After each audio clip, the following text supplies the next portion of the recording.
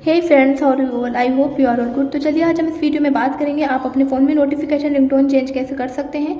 तो बहुत ही इजी और सिंपल स्टेप्स हैं जो आपको देखनी है फॉलो करनी है। तो वीडियो की पूरी जानकारी के लिए वीडियो का एंड तक ज़रूर देखिएगा।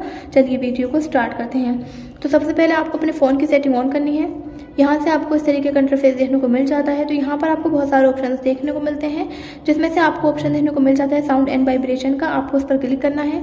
यहाँ से आपको बहुत सारे ऑप्शन देखने को मिल जाते हैं। यहाँ से आपको स्क्रॉल करके नीचे आना है। यहाँ से आपको ऑप्शन देखने को मिल जाता है नोटिफिकेशन रिंगटोन का। आपको उस पर क्लिक करना है। तो यहाँ से आपको बहुत सारे नोटिफिकेशन साउंड देखने को मिल जाते हैं। यहाँ से आप कोई भी नोटिफिकेशन साउंड को सिलेक्ट कर सकते हैं। तो यहाँ से आप कोई भी नोटिफिकेशन साउंड को सिलेक्ट करते हैं तो वहाँ पर वो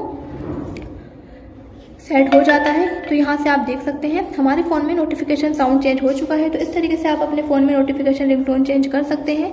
So I hope you like the video अगर आपको वीडियो पसंद आई हो तो वीडियो को लाइक करें शेयर करें, और अगर हमारे चैनल पर नहीं हो तो सब्सक्राइब करें। मिलते हैं अगली नेक्स्ट वीडियो में, तब तक के लिए bye and take care and thank you so much guys for watching video